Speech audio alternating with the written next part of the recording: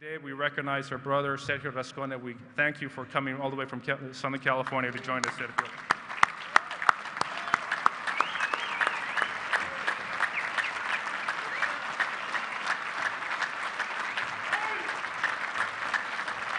Thank you, thank you. Thank you. Jaime, thank you so much.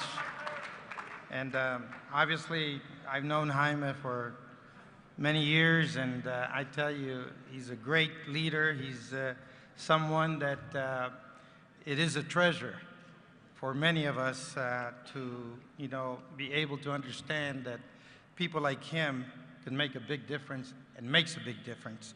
Uh, I'd like to, uh, you know, recognize a lot of my brothers and sisters that are here from, you know, Northern California, the business managers of the laborers, LiUNA, uh, all the locals. If I start mentioning names, I will never finish because I know many of you are here, and I thank you for being here.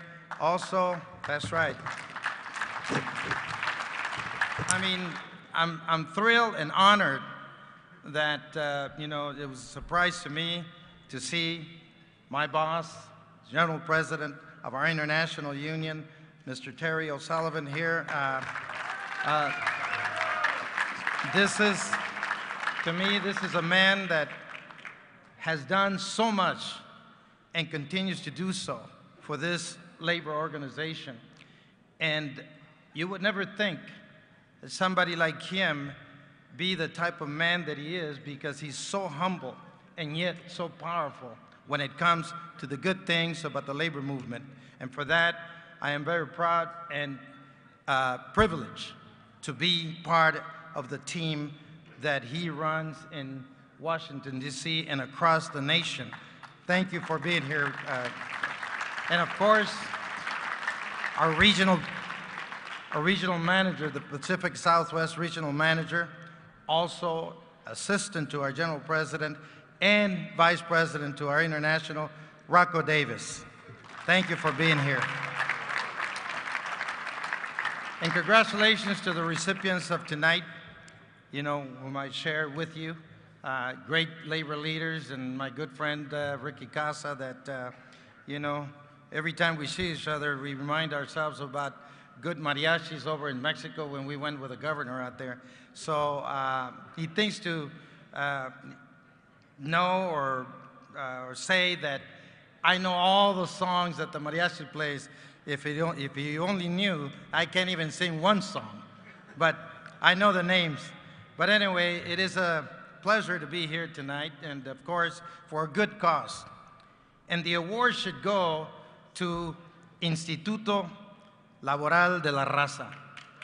That it should go to them because what you do, this is all what you do e- on an everyday basis, you know.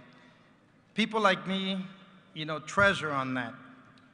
And I'm going to tell you a little bit of the story as Jaime has asked me uh, as to being an immigrant myself. And uh, I thank God for this great country that gives us the opportunities, that gives us uh, the ability to move forward. Great people like my general president that gives us the opportunity to do what we do best for our people. When I came here into the United States, I was very fortunate. Now, we fight for immigration reform every day. And I tell people, I speak on that, and thank God that uh, I've been given the task that, uh, you know, I'm part of uh, the uh, drivers when it comes to that reform. But I tell people, I said, I wish we can go back to when I came here. Now, my dad was a labor at that time, a member of Labor's Local 300, when at that time the employer was able to uh, uh, sponsor if they wanted to bring their family. My dad was already a green card holder. And I tell people when I speak, it took us 22 days from the time the paperwork started to the actual handing over of the green card.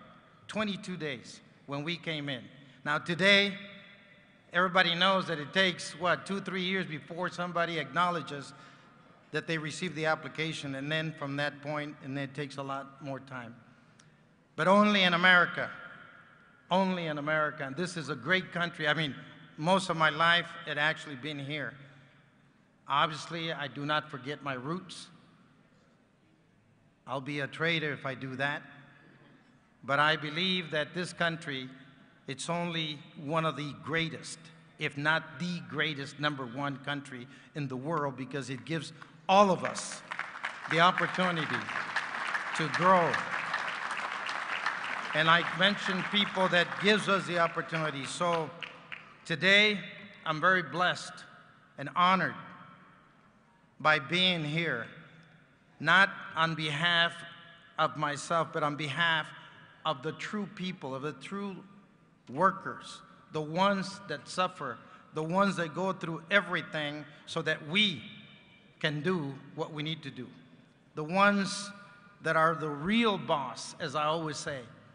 I am not anywhere near a boss when it comes to serving the people that are out there in the field, the people that really make it happen for all of us. I say that. Our general president say that. We always take that treasure on the working people. That's why Instituto de la Raza, uh, or Laboral de la Raza, is so important that they take care of the unorganized, the people that are exploited, the people that do not have somebody to take care of them as a collective bargaining agreement as we do. But I'm so happy that we got organizations that stand up for people like that. And I look forward to working with uh, Instituto de la Raza uh, porque no nos debemos de olvidar de dónde venimos y quiénes somos, porque el día que nos olvidemos, ese día se nos termina todo. Muchísimas gracias. Thank you so much.